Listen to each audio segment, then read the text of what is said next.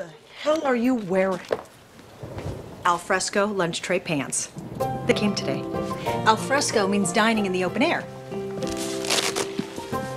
Look, Something's going on.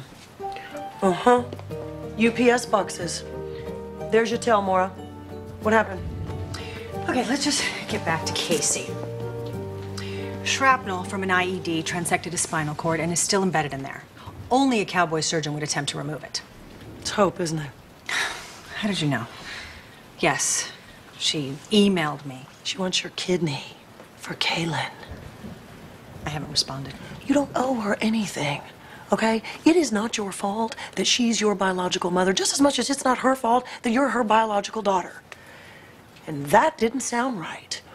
You should say, I like both my kidneys, and have a nice life.